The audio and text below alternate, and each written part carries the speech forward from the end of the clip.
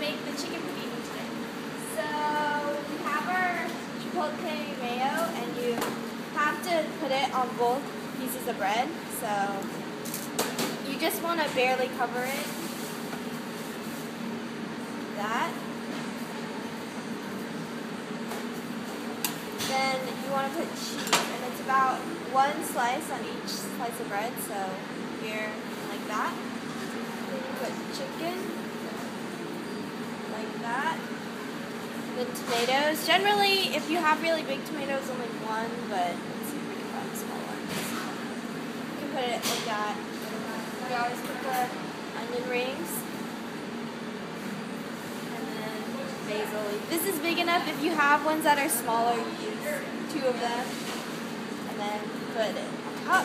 Have a chicken panini.